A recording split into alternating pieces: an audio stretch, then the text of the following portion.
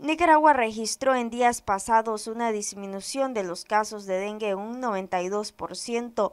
El médico Jorge Manzanares dijo que dicha disminución se debe a los resultados de las campañas que se han venido realizando de fumigaciones y abatización en los diferentes hogares del país. El descenso del dengue, pues, eh, es el resultado, se supone que de las campañas que están habiendo de, de fumigación, las campañas que están habiendo de abatización entonces, conforme las campañas van avanzando, lógicamente se van disminuyendo los nichos biológicos, los criaderos de los zancudos, de la ED, ¿verdad? Van disminuyendo su formación, tanto el zancudo grande como el estado larvario a través de la, de la este, Sin embargo, los datos registraron que en el caso de la neumonía esta había aumentado, por lo que el médico dio a conocer los síntomas de dicha enfermedad.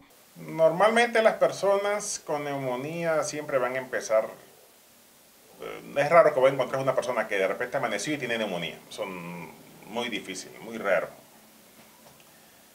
Salvo que tenga una inmunidad muy baja, pero lo normal es que tente con, primero como un cuadro viral, un catarro, una gripe, y vas a tener los síntomas normales.